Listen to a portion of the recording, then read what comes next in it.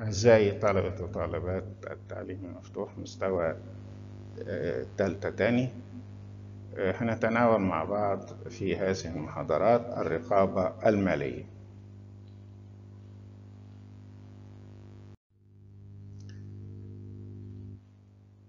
أول هذه الموضوعات الميزانيات التقديرية معكم طبعا أستاذ الدكتور علي إبراهيم طلبة أستاذ المال أولا مفهوم الموازنة الميزانيات التقديرية أو الموازنة هي ترجمة كمية للنشاط المتوقع يعني هي خطة مستقبلية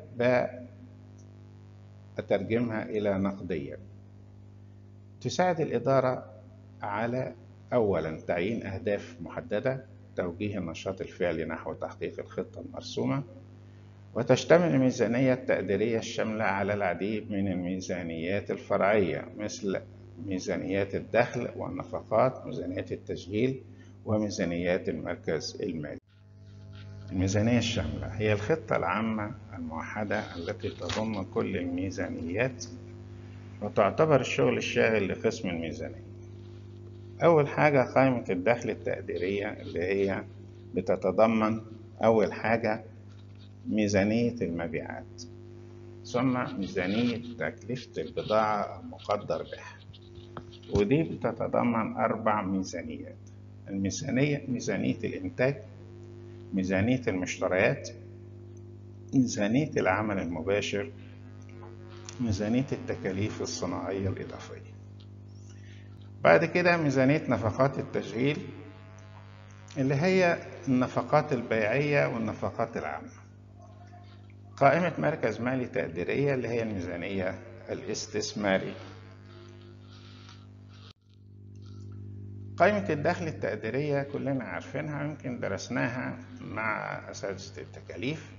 تضم قائمة الدخل التقديرية ملخصا بتقديرات عناصر الدخل والإنفاق اللي هي التكلفة عن الفترة القادمة وتستعمل بعض الشركات نظام الميزانية المتحركة أو المستمرة والتي تبين أربعة أرباع أو اثنى عشر شهرا في أي وقت من الأوقات. يعني بيعملوا يا إما أربع ميزانيات أو 12 ميزانية. دي قائمة دخل مبسطة جدا. ببدأ بالمبيعات بطرح تكلفة البضاعة المقدر بيعها بيديني مجمل الربح. بطرح نفقات التشغيل البيعية والعامة يديني صافي الربح قبل الضرائب. بطرح ضريبة الدخل المقدرة بيديني صافي الدخل.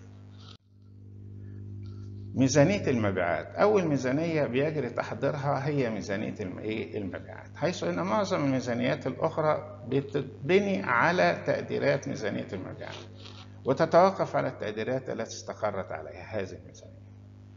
هنشوف إحنا هنفيكم من ميزانية المبيعات دي وهنبدأ بميزانية تكلفة المبيعات. وفي كتاب في الحقيقة في آه مثال حلو جدا عن ميزانية تكلفة المبيعات. أنا هفكركم بقائمة التكاليف اللي درستوها. بتبدأ بإيه؟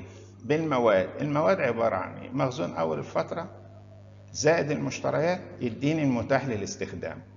بطرح آخر الفترة يديني مواد خام مستخدمة للإنتاج. بضيف عمل مباشر وتكاليف صناعية إضافية يديني تكلفة الإنتاج. بضيف أول الفترة بضاعة تحت التشغيل بطرح آخر الفترة يديني تكلفة الإنتاج التام. تمام؟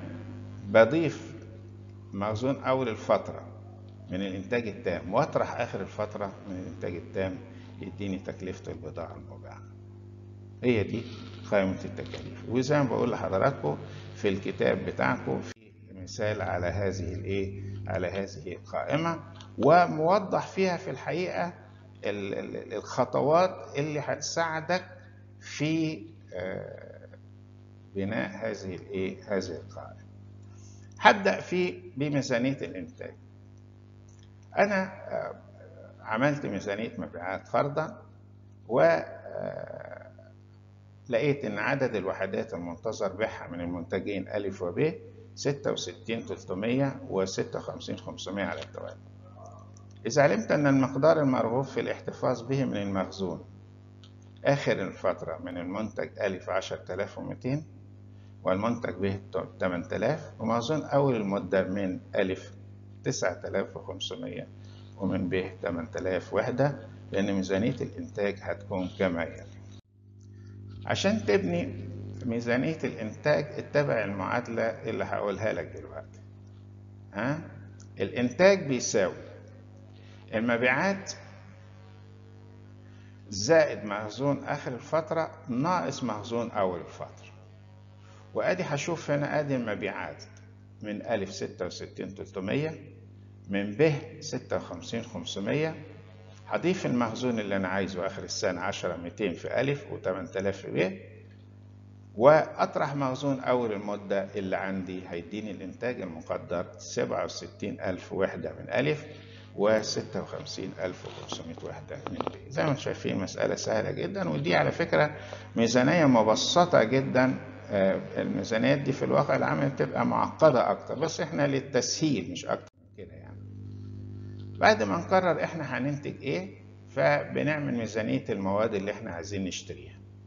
من واقع الميزانية السابقة فإنه مطلوب إنتاج سبعة وستين ألف وحدة من ألف وستة وخمسين ألف وحدة من ب وهنشوف الألف محتاج كام وحدة من المادة من المواد اللي بتدخل في إنتاج.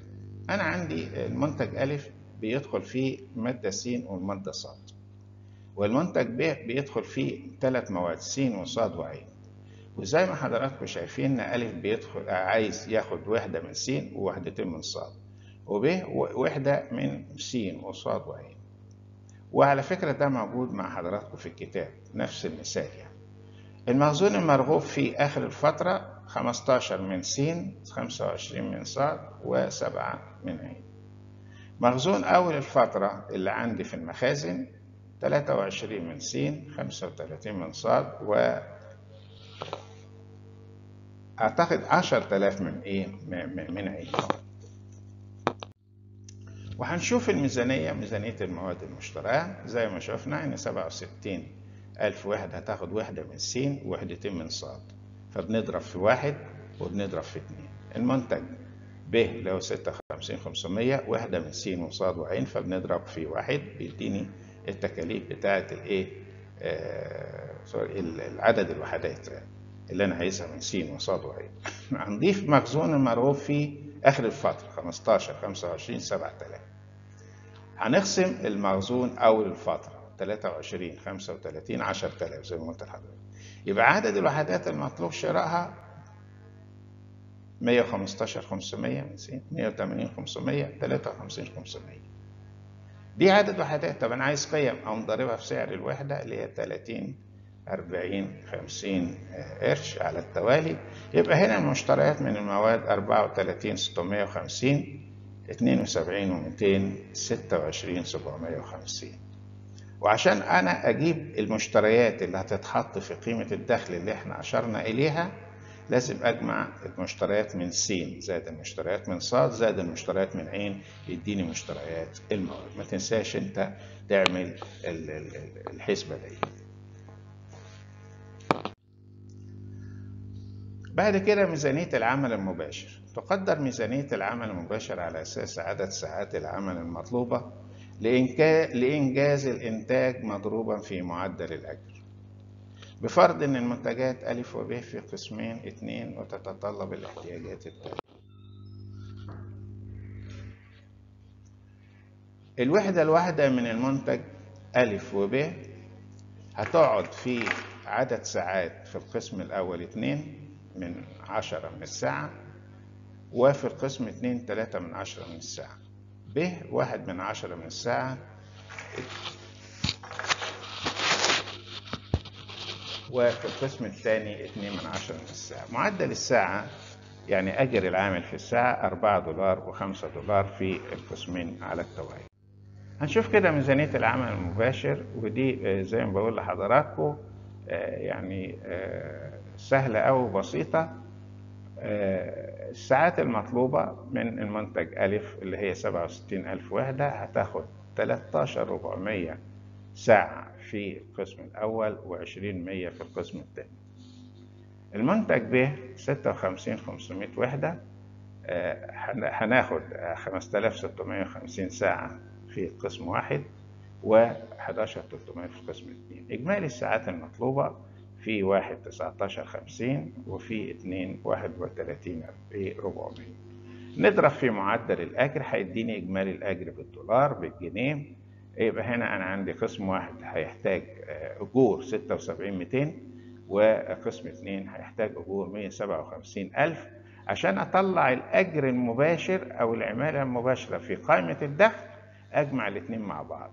قسم واحد وقسم اتنين هيديني الأجور المباشرة. ما تنسوش وأنت بتعمل قائمة الدخل إنك أنت تجمع الإيه؟ الأجور. الميزانيات المرنة هي عكس الميزانيات الثابتة. إن أنا بعمل آه، ميزانية لأكتر من نشاط أو أكتر من عدد ساعات معينة أو حسب الإيه؟ حسب ال- ال- الظروف بتاعتي عشان أنا لما أجي آه، أقارن ال- ال- وأعمل آه، تقرير الأداء يبقى لازم أنا أقارن الفعلي بالمخطط لنفس المستوى من النشاط. مثال ترغب شركة المروة في إنشاء ميزانية مرنة لنفقات التشغيل الشهرية وفيما يلي البيانات المتعلقة بكل بند. الرقابة باستخدام الموازنات التخطيطية أولا تقارير الأداء حتى تكون تقارير الأداء ذات فعالية عظمى فإنها يجب أن تعد على أساس دوري. لتقيس مدى التقدم نحو تحقيق أهداف الخطة. ويجب أن يبين تقرير الأداء أي انحرافات عن الميزانية التقديرية ويجب اقتراح الخطوات التي يجب اتخاذها لمنع حدوث الانحرافات التي لها تأثير سلبي. هناخد حالة كده هون آه، خاصة بالتكاليف الصناعية غير المباشرة فيما يلي بيانات عن التكاليف الصناعية الإضافية خلال شهر سبتمبر لشركة المروة حيث بلغ عدد ساعات العمل المباشر خلال الشهر 9500 خلي بالكوا قوي من عدد الساعات دي أجور غير مباشرة 9930 مواد غير مباشرة 4570 مياه وإنارة 3540 إجمالي التكاليف الثابتة 15600 أما بقى بيانات الميزانية الشهرية اللي هي التقديرات بتاعتي اتبنت على أساس طاقة عادية قدرها 10000 ساعة إنما الفعل كان على كام؟ على 9500 والأجور 10300 مواد غير مباشرة 4700 مياه وإنارة 3800 إجمالي التكاليف الثابتة 15600 المطلوب تصوير تقرير الميزانية أو الأداء للتكاليف الصناعية الإضافية عن الشهر مبنيا على أساس 9500 ساعة عمل مباشر. هيبقى لما نعمل آه، تقرير الأداء ده ناخد بالنا من الفعل الساعات الفعلية 9500 اللي هو قال لي اعمل عليها. والتقدير كان على 10000 ساعة نشوف بقى تقرير الأداء. قال لي إن الطاقة الطبيعية 10000 ساعة بس أنا اشتغلت كام؟ 9500 يبقى دون المعيار 500 أهدي بقى طاقة غير مستغلة 500 ساعة أي 5% من الطاقة غير مستغلة.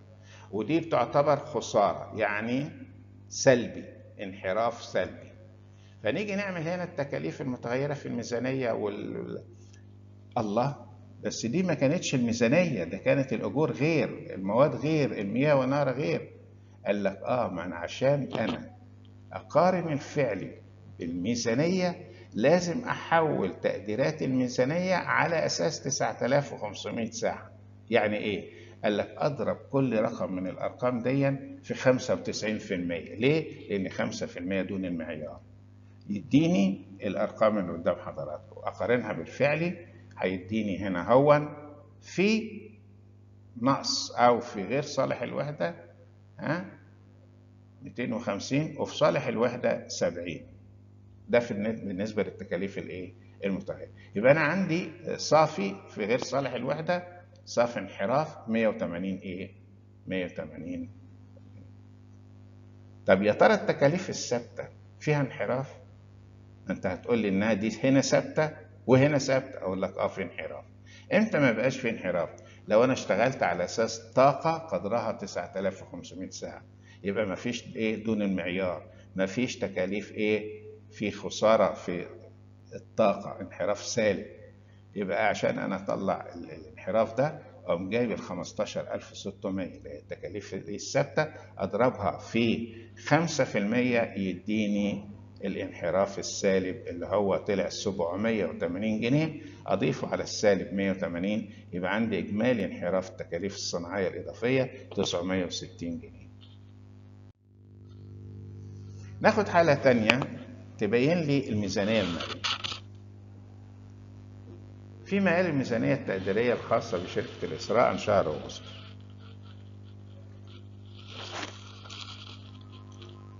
ساعات العمل المباشر زي ما قلت لحضراتكم خلي بالكم. عشرين ألف ساعة. التكاليف المتغيرة أجور مواد مياه موجودة. التكاليف الثابتة 23 هنشوف بقى التكاليف الإيه؟ الفعلية. شهر سبتمبر. ومدي لك اهو سبعة تلاتة تلاتة تلتمية والتكاليف الثابتة زي ما هي طالب مني أولا ميزانية مرنة لشهر سبتمبر لمستويات من ساعات العمل المباشر تبلغ 15 ساعة 15000 18000 ساعة 20000 ساعة 22000 ساعة. وتصوير تقرير أداء خلال شهر سبتمبر علما بأن ساعات العمل المباشر بلغت 18000 آه هنا بقى. الخطة على أساس 20000 ساعة الفعلي على أساس 18000 ساعة يبقى الطاقة المستغلة كام؟ 90% والغير مستغلة 10% يبقى أنا عندي انحراف تكاليف متغيرة وانحراف تكاليف ثابتة إزاي؟ هنشوف دلوقتي لما نعمل الإيه؟ ميزانية التكاليف الإيه؟ الإضافية عن شهر سبتمبر 2007 هنا قسمت الميزانية أربع إيه؟ أربع أقسام القسم الأساسي اللي هو على أساس 100% اللي هو تالت عمود اللي هو على أساس 20000 وبعد كده عملت على أساس 15000 وعملت على أساس 18000 وعملت على أساس 22000 أنا ليه عامل 90% بالأحمر عشان هو ده الرقم اللي هاخده وأقارنه بالفعلي إزاي؟ طب أنا جبت الأرقام دي منين؟ قال لك إنه إيه 75%؟ ما أنت لو قسمت 15 على 20 هيديني 75% 18 على 20 90% وقلت لكم في طاقة عطلة قدرها كام؟ 10% و110 على 20 حيد... على آه...